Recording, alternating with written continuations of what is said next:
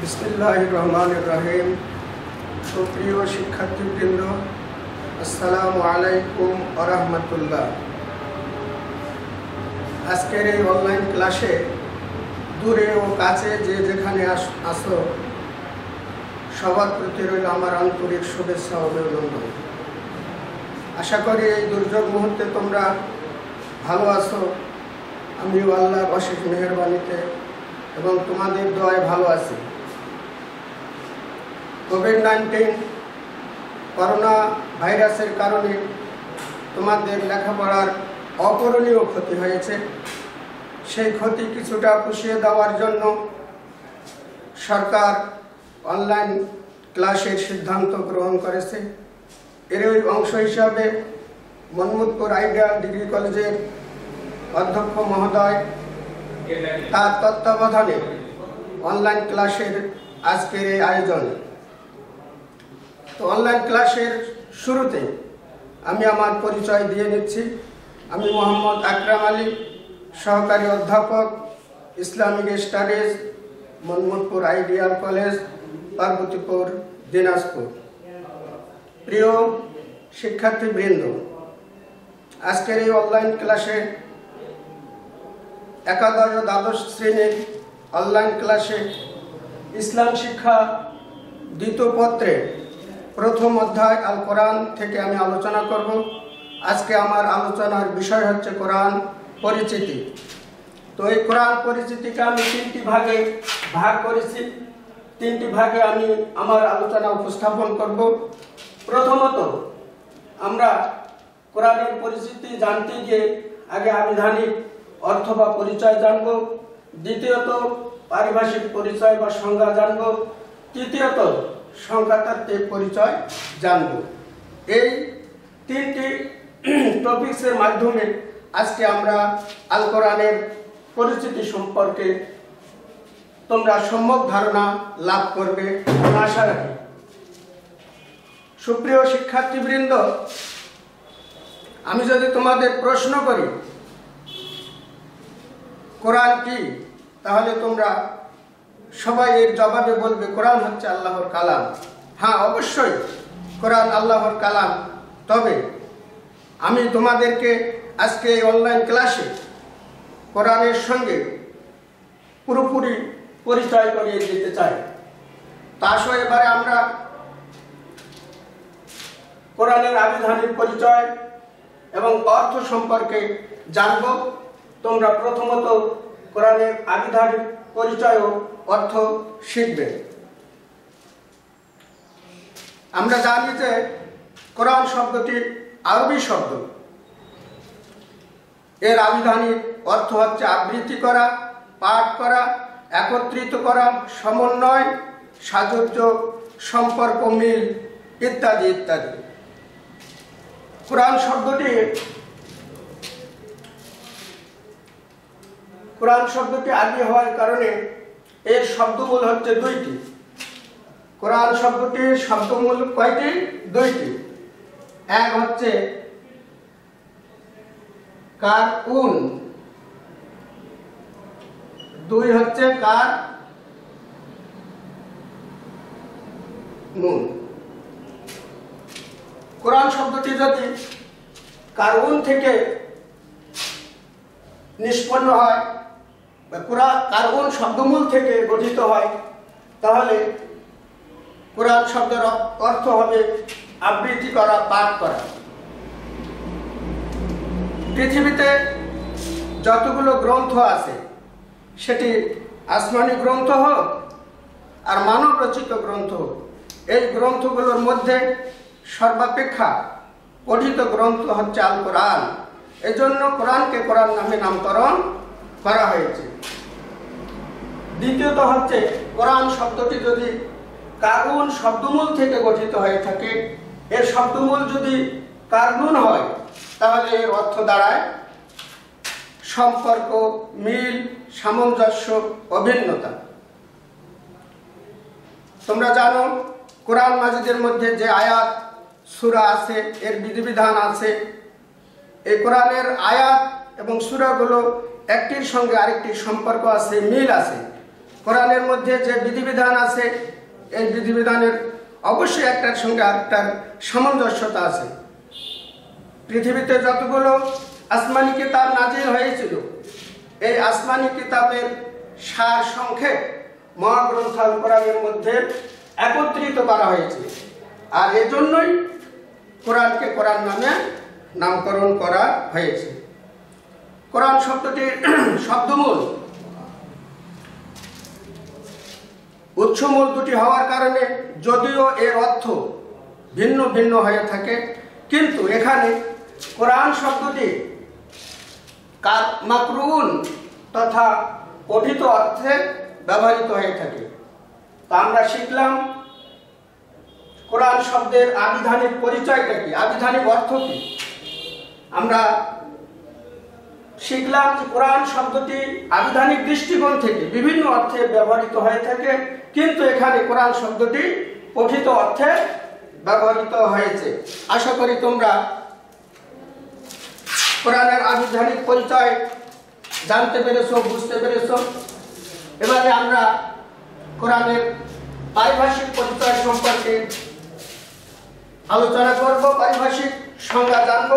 কোরআন কি, কোরআন কাকে বলে, কোরআন বলতে আমরা কি বুঝে থাকি, কোরআনের ডিফিনিশনটা কি?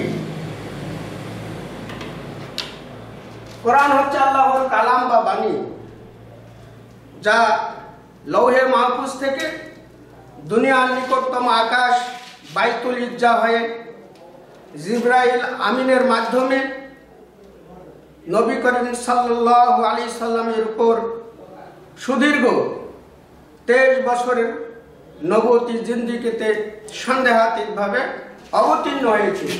এটি হচ্ছে আল কোরআন। কোরআন এর রচয়িতাকে, এর রচয়িতা এটা প্রদত্ত হল আল্লাহর। আল্লাহ রবুল্লা আলমিন এই কোরআনকে রচনা করেছে। রচনা করার পর আল্লাহ রাবুল্লা আলমিন এই কোরআন কোথায় রেখেছিলেন? এই কোরআনকে তিনি লৌহে মাহবুজে সংরক্ষিত রেখেছিলেন। সেখান থেকে তিনি বাইতুল ইজ্জা অর্থাৎ প্রথম আসমানের উপরে বাইতুল ইজ্জা নামক একটি স্থান, যেটি হচ্ছে ফ্রেস্তাদের ইবাদত যেটির অপর নাম হচ্ছে বাইতুল মামুর, সেখানে আল্লাহ রাবুল্লা আলমিন পাঠিয়ে দেন। সেখান থেকে বিভিন্ন সময় জিবরিল আমিনের মাধ্যমে রসুল্লাহ সাল্লামের কাছে মহানবুল্লাহ আলমিন এই কোরআনকে পাঠিয়ে দিয়েছেন। প্রিয় ছাত্রছাত্রী বৃন্দ, আমি আবারও সংখ্যাটা বলছি তোমাদের বুঝার বা স্মরণ রাখার স্বার্থে। যে কোরআন হচ্ছে আল্লাহর কালাম বা বাণী, যা লৌহে মাহফুজ থেকে দুনিয়ার নিকটতম আকাশ বাইতুল ইজ্জা হয়ে জিব্রাইল আলাহ সাল্লামের মাধ্যমে নবী করিম সাল্লাহ সাল্লামের উপরে তার নবতী জিন্দিগি তেইশ বছরে সন্দেহাতীতভাবে অবতীর্ণ হয়েছে। এরই নাম হচ্ছে আল কোরআন। আশা করি তোমরা কোরআনের পরিচয় বা পারিভাষিক পরিচয় বা সংজ্ঞা বুঝতে পেরেছ। আমি কোরআনের পারিভাষিক সংজ্ঞা বা পরিচয় থেকে আরেকটি সংজ্ঞা দিয়ে উপস্থাপন করতে চাই। কোরআনের সংজ্ঞা দিতে গিয়ে মুক্তি আমিমুল ইহসান বলেছেন কোরআন এমন একখানা গ্রন্থ যা আমাদের নেতা হজরত মোহাম্মদ সাল্লাহ আলি সাল্লামের প্রতি অবতীর্ণ হয়েছে। যার ক্ষুদ্র একটি সুরার সমকক্ষ সুরা রচনা করা মানুষের পক্ষে সম্ভব নয়। প্রিয় ছাত্রছাত্রী বৃন্দ, পৃথিবীতে যে গ্রন্থগুলো লেখকরা লিখে থাকেন, এই গ্রন্থের সমকক্ষ অনেক গ্রন্থই লেখা হয়, কিন্তু কোরআনই একমাত্র ব্যতিক্রম ধর্মী গ্রন্থ, যেটি সমকক্ষ, কোনো গ্রন্থ রচিত তো হয়নি। ইভেন কোরআনের যে ছোট্ট একটি সুরা, সেই সুরার সমকক্ষ সুরাও রচনা করতে অতীতে কেউ সক্ষম হয়নি, বর্তমানে কেউ পারবে না, ভবিষ্যতেও কেউ এর মতো করে কোনো গ্রন্থ বা সুরা রচনা করা কারও পক্ষেই সম্ভব নয়। আশা করি তোমরা কোরআনের পারিভাষিক পরিচয় বা সংজ্ঞা বুঝতে পেরেছ। এবারে আমি মহাগ্রন্থ কোরআন মাজিদ, এর যে সুরা আয়াত শব্দ আছে, এর একটি ক্ষুদ্র পরিসংখ্যান তোমাদের সামনে উপস্থাপন করব।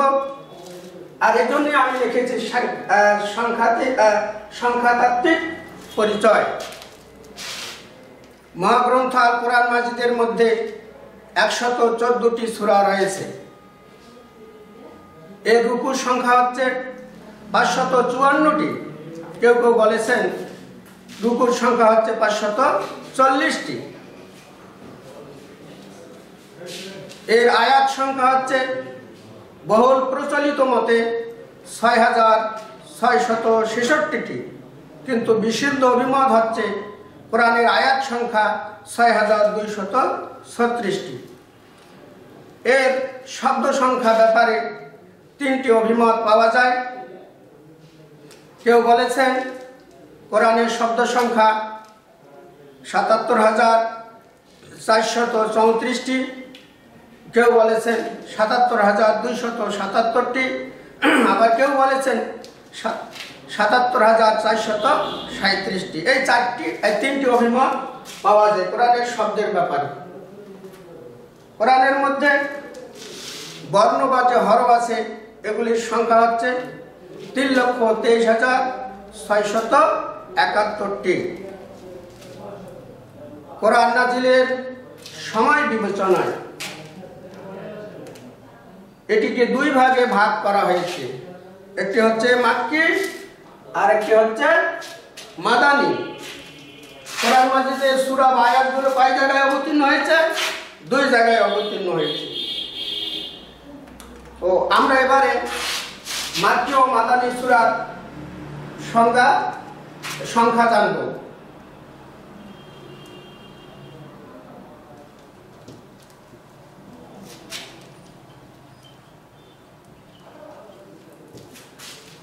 মাক্কি ও মাদানী সুরার সংখ্যার ব্যাপারেও মতভেদ আছে। কেউ বলেছেন মাক্কি সুরার সংখ্যা চুরাশিটি। কেউ বলেছেন মাক্কি সুরার সংখ্যা ছিয়াশিটি। আবার কেউ বলেছেন মাক্কি সুরার সংখ্যা বিরানব্বইটি। সেই হিসাবে মাদানী সুরার সংখ্যা দাঁড়ায় বাইশটি অথবা আঠাশটি অথবা তিরিশটি। আশা করি তোমরা এর সংখ্যা বুঝতে পেরেছ যে মাক্কি সুরা কতটি এবং মাদানী সুরা কতটি। এবারে আসি আমরা যে কোরআন মাজিদ কি দিয়ে শুরু হয়েছে, কোন সুরা দিয়ে শুরু হয়েছে আর কোন সুরা দিয়ে সুরার মাধ্যমে শেষ হয়েছে। মহাগ্রন্থ কোরআন মাজিদ সুরা ফাতেহা দিয়ে শুরু হয়েছে। আর সুরা নাচ দিয়ে শেষ হয়েছে। সুরা ফাতেহা হচ্ছে সর্বপ্রথম সুরা আর সুরা নাচ হচ্ছে সর্বশেষ সুরা। মহাগ্রন্থ গ্রন্থ আল কোরআনের মধ্যে যে একশত চোদ্দটি সুরা রয়েছে, এই সুরাগুলোর মধ্যে সর্ববৃহৎ, সবচেয়ে বড় সুরা হচ্ছে আল বাকারা এর আয়াত সংখ্যা হচ্ছে দুইশত ছিয়াশিটি। এর রুকুর সংখ্যা হচ্ছে চল্লিশটি। আর সর্বকনিষ্ঠ বা ক্ষুদ্রতম সুরা হচ্ছে সুরা আল কাউসার। আশা করি তোমরা সর্ববৃহৎ সুরা এবং ক্ষুদ্রতম সুরা এবং কি দিয়ে শুরু হয়েছে আর কি দিয়ে শেষ হয়েছে এ বিষয়টি তোমরা বুঝতে পেরেছ। এবার আসি কোরআন মাজিদ সাত দিনে খতম করার সুবিধার্থে কোরআন মাজিদের সাতটি মঞ্জিল নির্ধারণ করা হয়েছে। এর পাশাপাশি কোরআন মাজিদকে তিরিশটি অংশে বিভক্ত করা হয়েছে। একটি অংশকে একটি জুজ বা পারা বলা হয়। তাহলে কোরআন মাজিদের পারা সংখ্যা হচ্ছে তিরিশটি। সুপ্রিয় শিক্ষার্থীবৃন্দ, আশা করি তোমরা সুরা, আয়াত, শব্দ, অক্ষর, কোনটি বড় সুরা, কোনটি ক্ষুদ্র সুরা এই বিষয়গুলি তোমরা বুঝতে পেরেছ? এবারে আমি তোমাদের সামনে বিষয়ভিত্তিক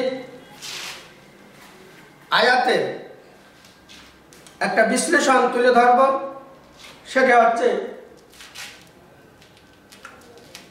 কোরআন মাজিদে এক হাজার জাহান্নামের সুসংবাদ সম্পর্কিত আয়াত আছে। আবার পক্ষান্তরে জাহান্নামের ভীতি সম্পর্কে এক হাজার আয়াত আছে। আদেশ সম্পর্কিত এক হাজার আদেশ আছে, আয়াত আছে, আবার নিষেধ সম্পর্কেও এক হাজার আয়াত আছে। উদাহরণ সম্পর্কে এক হাজার আয়াত আছে, আবার কোরআনের বিভিন্ন কাহিনী সম্পর্কে এক হাজার আয়াত আছে। হালাল সম্পর্কে দুইশত পঞ্চাশটি আয়াত আছে হারাম সম্পর্কে দুইশত পঞ্চাশটি আয়াত আছে। আল্লাহ রাবুল্লা আলমিনের পবিত্রতা সম্পর্কিত একশোটি আয়াত আছে। বিবিধ সম্পর্কে ছেষট্টিটি আয়াত আছে। তাহলে এগুলি হচ্ছে বিষয় ভিত্তিক আয়াত। আমি ক্লাসের শুরুতে বলেছিলাম যে, কোরআন বলতে আমরা যেটা সংক্ষেপে বুঝে থাকি, কোরআন হচ্ছে আল্লাহর কালাম। কিন্তু আমি আমার ক্লাসের শুরুতে বলেছি যে তোমাদেরকে আজকে আমি কোরআনের সঙ্গে পুরোপুরি পরিচয় করে দেবো। আশা করি আমার এই তিনটা টপিক্সের মাধ্যমে, তিনটি পয়েন্টের মাধ্যমে কোরআনের পরিস্থিতি সম্পর্কে তোমরা সম্যক ধারণা লাভ করেছ। আমি আর আজকের এই ক্লাসের আলোচনা না বাড়িয়ে এখানে শেষ করছি। তোমরা ভালো থাকো, সুস্থ থাকো। আগামী ক্লাসে আবারও দেখা হবে এই প্রত্যাশায়। শেষ করছি। আসসালামু আলাইকুম রহমতুল্লাহ।